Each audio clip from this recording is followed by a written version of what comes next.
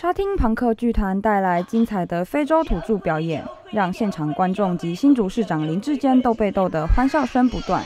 精彩的表演也揭开了二零一六新竹市儿童影展的序幕。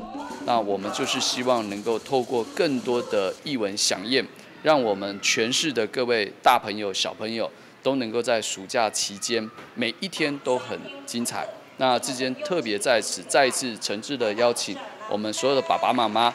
一定不要错过，在七月到八月的时候，一起来到我们的影博馆来参加我们的儿童影展。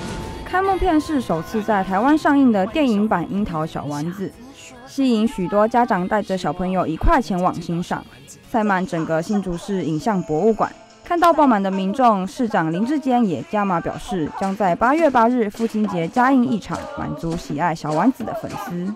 我们会在八月八号父亲节那一天，在我们这个影博馆有一个加映的一个演出哦。呃，错过这一场的呃市民朋友，千万不要再错过八月八号我们为大家准备的加映这一场活动。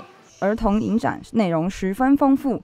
有七十七场电影，十一场映后导读及三场儿童剧场，还有三场户外映演，陪伴大小朋友度过酷热的暑假时光。凯波新竹林彦斌采访报道。